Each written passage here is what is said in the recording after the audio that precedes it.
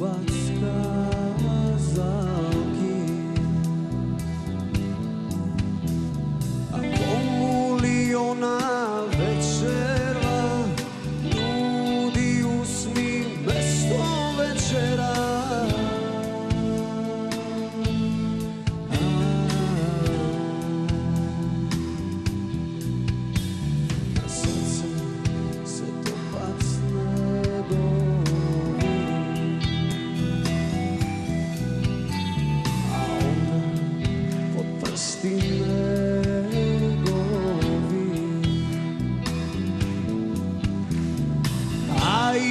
dečko, učitelj i tardaj, Božija krv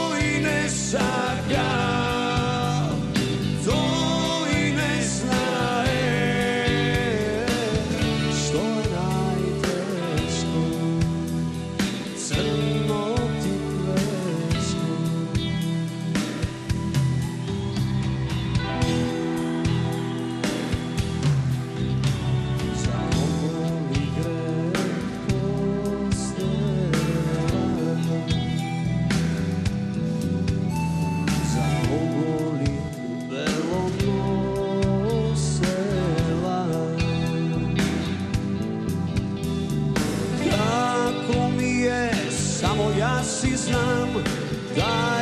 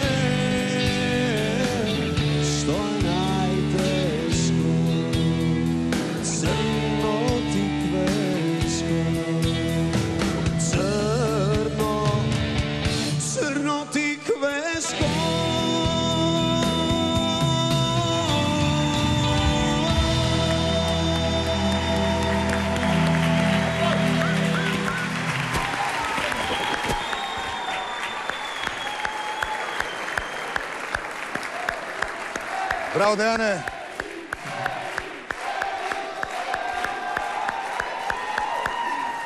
Ајде, ајде. Дојди си овде, застани си коментарите од нашето стручно жири. Дејан? Здраво. Здраво. Тебе ти припадна редот денес када го отвориш а? Да, И како се чувствуваш како прв? супер. Зошто ја одбра оваа песна, кажи ми? Има многу добар текст прво и прво и ми се допаѓа песната и ден. Со многу емоција, точна емоција изнесе. Мојата замерка е а, ти кој што го сметам за најоригинален глас, толку свој глас имаш, на моменти како низнос да ми пееш и на моменти имав чувство како Владо да го слушам. Не, не, не, ама Владо прави Случајно бака. може би.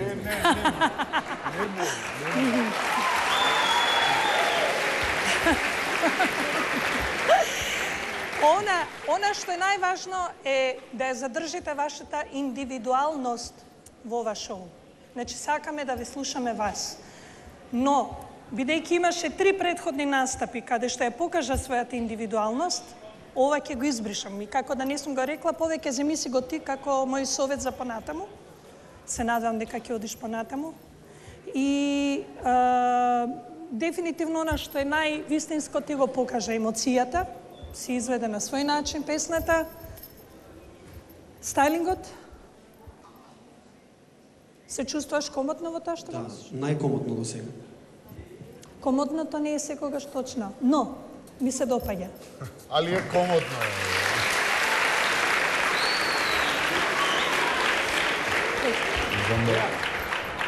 Значи, мене ми е потполно исто дали се чувствуваш комотно во твојата гардероба или не. Ако си забележал и мене ми е потполно исто дали сум во добра гардероба или не. Овде правиме муавет за содржината, а не за формата.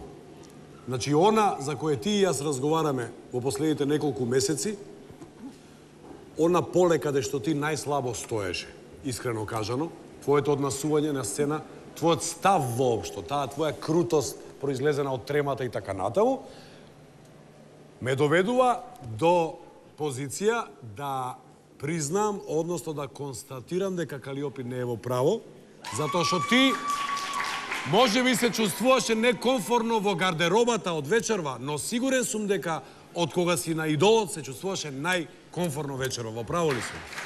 Мислам дека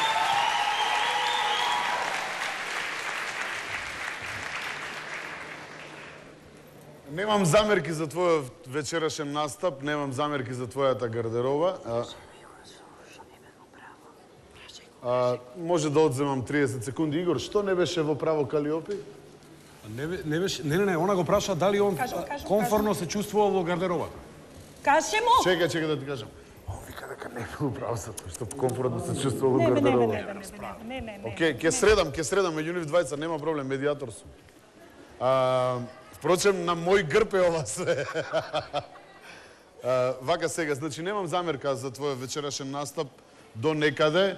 А, мислам дека требаше повеќе да ја уживаш и оваа песна ти беше малку така напнато. А, повеќе би сакал кај тебе во иднина доколку поминеш, доколку народот одлучи така, нели? Затоа што ние веќе не одлучуваме, а, да видам малку една ерупција да видам.